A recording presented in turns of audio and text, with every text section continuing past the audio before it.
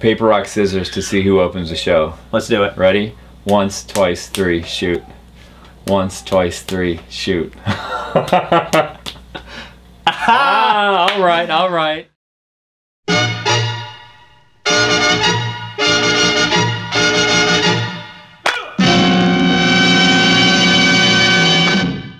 What's going on? I'm Mike Adam, I'm Jim Shearer. and this is our brand new show. It's called Gimme Five, and I would say the concept is super simple, right? He's not talking it down though. right. It's a, it's a genius concept. It's just simple. right. Each week we um, choose a category, and then we give you our favorite five, my top five, his top five, and then Some you weeks, weigh in. but some weeks it could be a bad five. exactly, it This week's this week though it's a good five. Right, right. It could be the the worst five of all time Right. or whatever. But um, so this week we chose uh, the top five pop songs of 2014. Uh, and since I did the intro, why don't you? I get to go the first. Yeah, yeah. Uh, I know some people are sick of talking about 2014. we haven't had a chance to talk about our top five pop songs of 2014. I had a cough.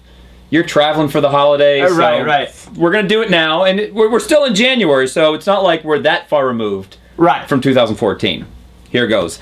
Uh, at number five, I thought this was just a nice classic pop song. Am I wrong? From Nico and Vinz. Sounds like a song the Police would put out in the 80s. Right. Uh, number four, this might be number one on your list. I don't know. Might be number one on your list. Stay with Me from Sam Smith.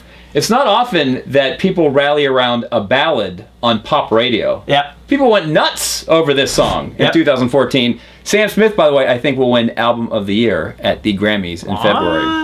Uh, at number three, Problem from Ariana Grande featuring Iggy Azalea. Yep. I am not a fan of Ariana Grande. I wanted to hate this song, but that saxophone loop and the verse from Iggy Azalea, I couldn't resist it. Right, right. It's my number three pop song of 2014. Yep. Uh, number two, speaking of Iggy Azalea, Fancy featuring Charli XCX, arguably the song of the summer. Statistically, it was the song of the summer. Right, And right. everybody in the USA was singing that hook from Charli XCX. yeah. I'm so fancy. And you can sing the rest. And then my number one pop song of 2014, a song that gave me faith in humanity once again. Turned down for what?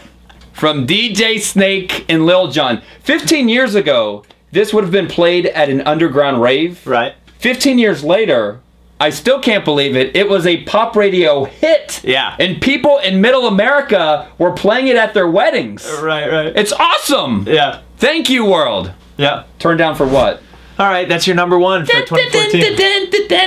Yeah, your turn. So good list there. Um, my five a little different. Actually, we had uh, number five the same. I Sam go- Smith? No, I go with Nico and Vinz. Okay, for, for wow. number five. Yeah, I thought uh, "Am I Wrong" was just a, a phenomenal record. It reminds me of the the summertime, makes me happy, and it does sound like uh, some of the vocals there sound like a young Sting. So And no frills on that. No frills, no gimmicks. Just Right. a straight up pop song. Right. Uh, number four, I'm going to go with Clean Bandit Rather Be. Thought it was, uh, you know, 2014 was a big year for the reinvention of dance. Love that record. That was my wife's favorite pop song. Really? Yeah, she loved that. Okay. Uh, number three, I thought this was like a, a sleeper hit. Um, Echosmith, the band, uh, Cool Kids.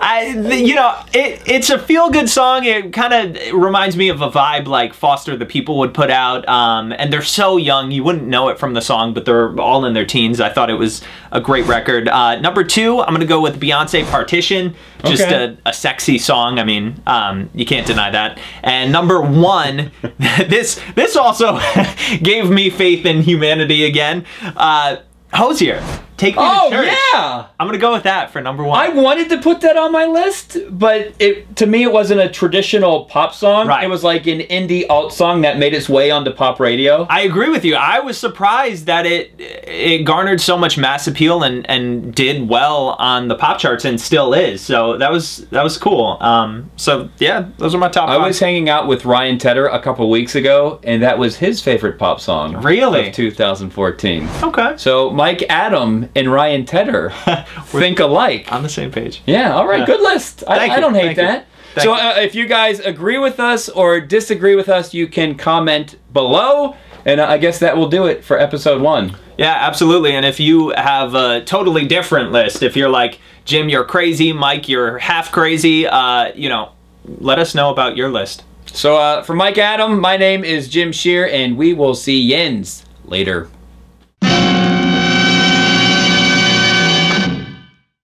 Why do you want me to say the No. category? Oh, you, if you can, if you can, if you remember it, do it. And if Okay. not, I'll do it. Okay. cool.